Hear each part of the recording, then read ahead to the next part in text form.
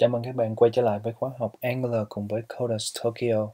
Trong video lần này, mình chúng ta sẽ bắt đầu setup Angular application bằng Angular CLI. Thì để bắt đầu, các bạn hãy mở terminal lên và đảm bảo rằng các bạn ở trong cái folder của cái repository của khóa học này. À, cái branch hiện cái branch hiện tại của mình đang có là 01 intro. À, mình có tạo một cái branch là 02 hello world. Rồi các bạn hãy check out cái branch đó nhé mình sẽ check out lại cái check out 02 hello world ok. Thì nếu bạn nào chưa cài Angular CLI thì bây giờ các bạn hãy cài bằng cái lệnh này. Đó là npm i uh, viết tắt cho install gạch ngang g là viết tắt cho gạch gạch global và Angular CLI thì mình đã cài rồi cho nên mình sẽ không chạy lại lần nữa. Sau khi uh, sau khi chạy lệnh này xong á thì các bạn chạy ng version để đảm bảo rằng là mình đã có được Angular CLI trong cái cái môi trường làm việc của mình. Nếu các bạn nào mà chạy ng version không được á, thì hãy tắt thử tắt terminal đi và mở lại terminal thì chạy lại ng version xem có được hay không. Hiện tại cái version của mình đang là version 7.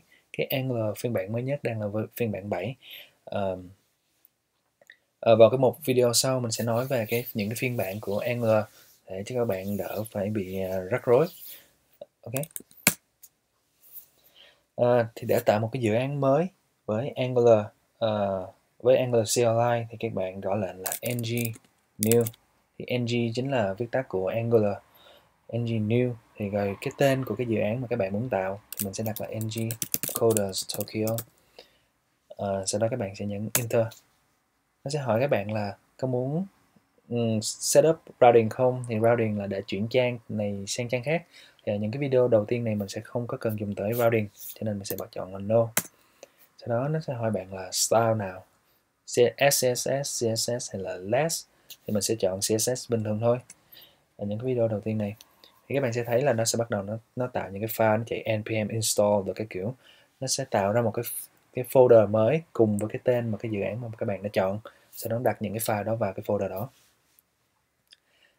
Ok, ngồi chờ cho nó cài xong.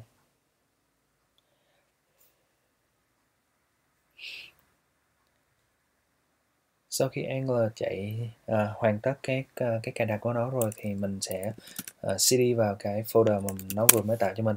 Đó là tên cái dự án của các bạn chọn nhé. Sau đó mình sẽ mở cái cái folder này bằng Visual Studio bằng cách là code chấm.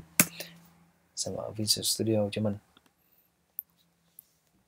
Thì các bạn nào mà không mở được uh, Visual Studio Code bằng cái terminal á, thì khi các bạn mở Visual Studio bằng cách bình thường sau đó các bạn mở command palette của Visual Studio Code lên à, bằng hợp phím là Control Shift P hoặc là ở trên MacBook là Command Shift P.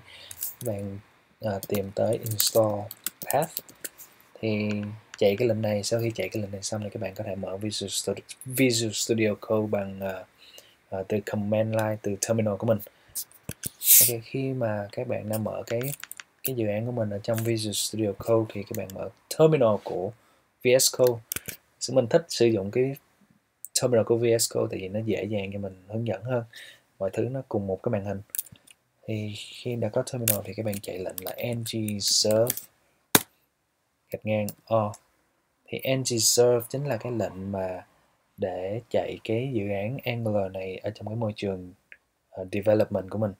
Còn gạch ngang o á, nó là viết tắt của open thì nó sẽ mở cái nó chạy xong nó sẽ mở cái à, cái local host nào đó trên cái browser. Thì mặc định cái của Angular nó là port à, uh, 4002 thì sau khi nó sẽ nó sẽ chạy xong nó sẽ mở cái localhost 4002 trên cái browser cho mình. Okay, thì đây chính là cái một cái Angular application.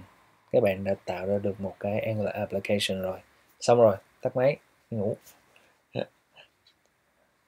À, mình đồ tí thì quay trở lại VS Code mình sẽ giải thích những cái file những cái những cái file mà Angular CLI khởi tạo cho các bạn ở những cái video sau. Ở video này các bạn mình chỉ muốn các bạn tập trung vào là uh, folder source uh, folder app và tập trung vào hai file app.component.html với lại app.component.css cho mình thôi. Ok mình sẽ mở hai cái file này. Thì cái app.component.html á đây là cái template. Mình sẽ uh, nhắc tới HTML là template. Thì cái template này chính là những gì các bạn đang thấy ở trên cái browser này. Thì các bạn thấy chữ welcome đúng không? Welcome to. Welcome to.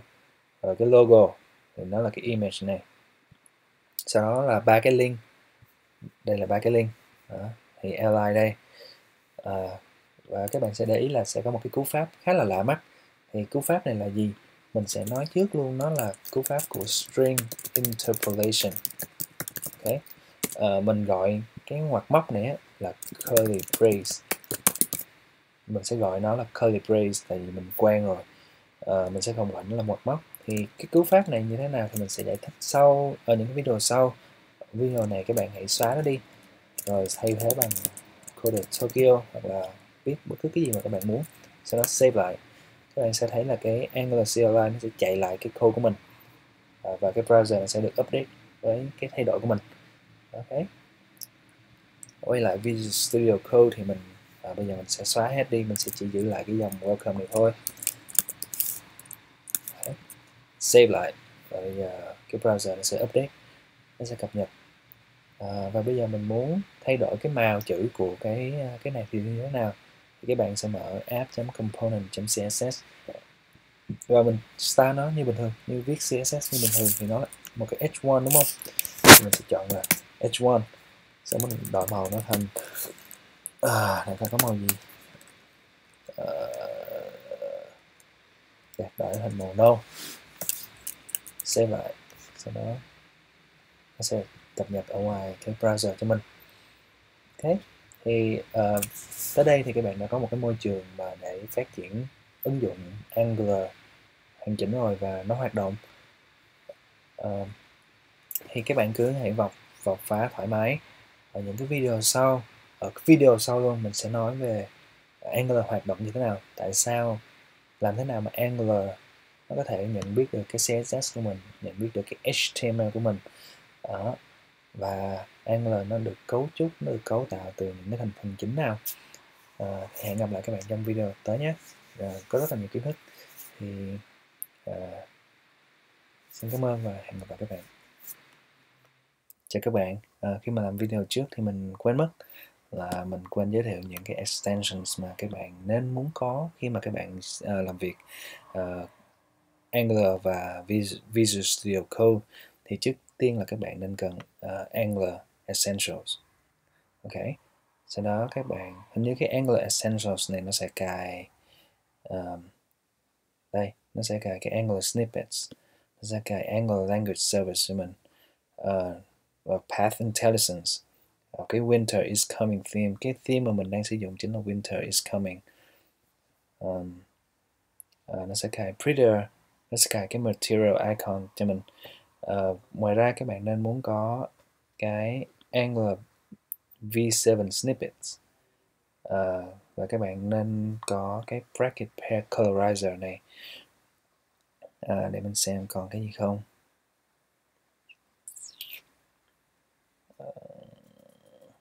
Ok vậy thôi các bạn chỉ cần cái này Angular Essentials Angular V7 snippets và bracket pair colorizer. Ok? xin chào và hẹn gặp lại